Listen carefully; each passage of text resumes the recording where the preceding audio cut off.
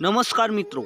આણંદ તાલુકાના વડોદ ગામમાં થયેલ બાળકની હત્યાનું અસલી કારણ મળી ચૂક્યું છે. આરોપી કનુભાઈ ચાવડા દ્વારા પોલીસને પહેલા બયાનમાં રાઠોડ નયનકુમાર સંજયભાઈ નામના બાળકની હત્યાનું કારણ પૈસાની માંગણી બતાવવામાં આવી હતી. પરંતુ પોલીસે મેળવેલ કોર્ટના રિમાન્ડના ઓર્ડરથી આરોપી કનુભાઈ ચાવડાનું મોઢું ખોલી નાખ્યું છે. આરોપી કનુભાઈ ચાવડાએ પોલીસના રિમાન્ડ પછીના બયાનમાં જણાવ્યું છે બાળકની હત્યા કરવાનું અસલી કારણ પૈસાની માંગણી નથી, પરંતુ તેની સાથે દુષ્કર્મ કરવાની ઈચ્છા હતી. દોસ્તો, આરોપી કનુભાઈ ચાવડાએ રિમાન્ડ પછીના બયાનમાં જણાવ્યું છે કે બાળકને ભમરડાની લાલચ આપી મહીસાગર નદીના કિનારે જાળી ઝાકડામાં લઈ જવામાં આવ્યો હતો અને ત્યારબાદ બાળક સાથે દુષ્કર્મ કરવાની તૈયારીમાં જ હતો અને ત્યારે બાળકે બૂમો ચાલુ કરી દીધી. તેના લીધે બાળકની હત્યા કરવામાં આવી. હા તો દોસ્તો, આઠ વર્ષના માસૂમ બાળકની હત્યા તેની સાથે દુષ્કર્મ કરવાની પ્રબળ ઈચ્છાથી કરવામાં આવી છે. તો તમારા મતે આરોપી કનુભાઈ ચાવડાને શું સજા થવી જોઈએ? કમેન્ટ બોક્સમાં જરૂર જણાવજો. અને હા મિત્રો, આ વિડીયોને એટલી શેર કરજો કે આખું ગુજરાત જોવે અને આખું ગુજરાત ન્યાય અપાવે.